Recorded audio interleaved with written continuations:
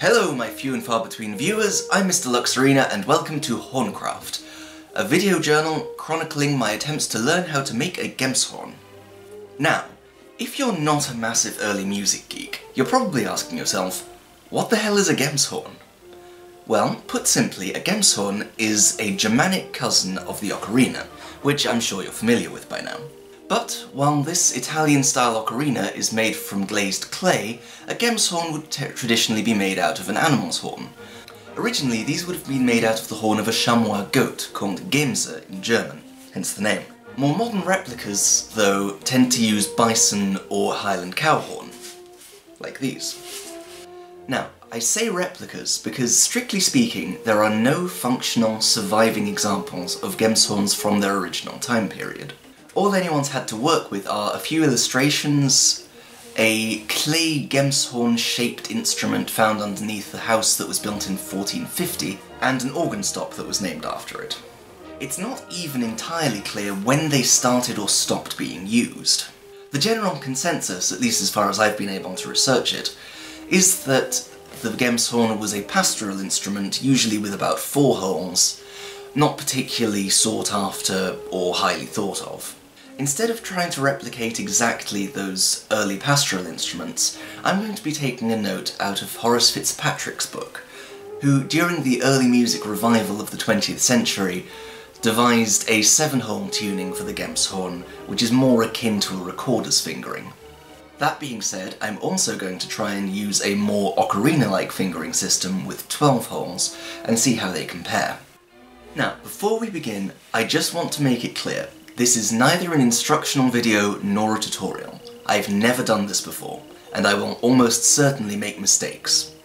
Instead, I just want to share my experience of actually doing this with you guys, with all the frustration and pitfalls that I will surely encounter along the way. So, now that we've got introductions out of the way, let's take a look at what we're working with. So, our first step is going to be cutting this horn down to size. If I were to take a horn like this and make a Gemshorn out of it, I'd end up with some sort of contrabass or even sub-contrabass Gemshorn, and it would be, frankly, too low and too quiet to be of much use. I may do it as an experiment later on, but for now, we're sticking with the tenor. Since horns vary a lot in terms of size, shape, width, circumference, everything, using the length isn't actually all that much use. Instead, we have to measure them by volume. According to the tutorial I'm for the most part following from wawerko.de, a 70ml horn will give us a soprano, a 220ml horn will give us an alto, a 350ml horn will make a tenor, and a 950 would give us a bass. We're going to be making a tenor Gemshorn for the first attempt, so that will be 350. So, 300 milliliters of water,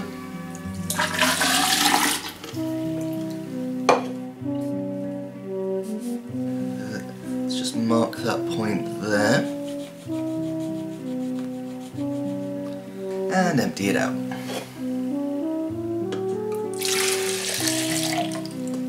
So, this line is where we're going to be cutting the labium, which is arguably the most important part of the instrument, because that's what makes the air vibrate down through the rest of it to actually make a sound. As such, I'm actually going to be cutting the horn about 3 centimetres higher than that, so we have space for the fipple. Then we're going to sand and polish it so it looks nice and feels nicer to work with.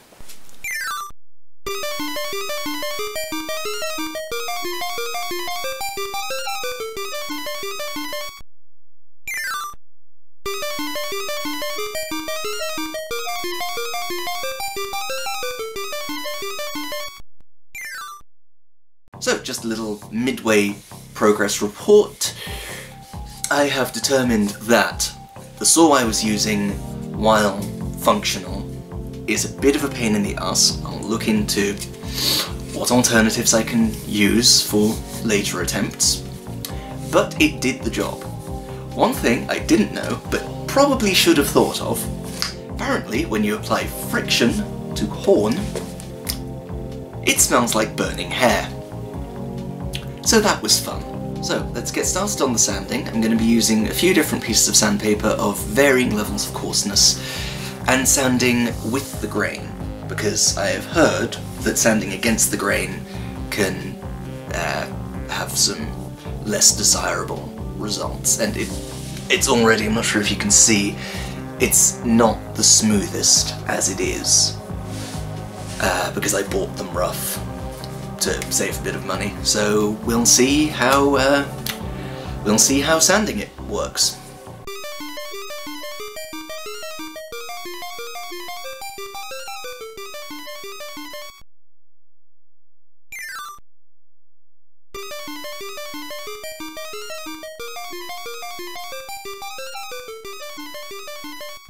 So, if you look closely, I think it should be clear the effect of all this sanding is much, much smoother now. It'll be very nice to work with from now on. And that concludes our first episode. Nice, smooth cow horn.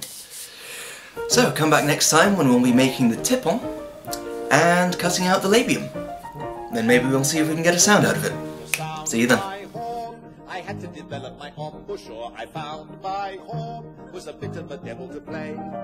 So artfully wound to give you a sound, a beautiful sound, so rich and round. Oh, the hours I had to spend before I mastered it in the end.